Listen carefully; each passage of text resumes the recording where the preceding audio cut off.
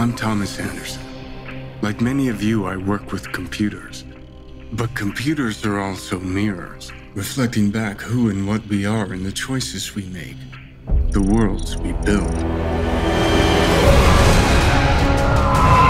You still got it. Like riding a bike, they say.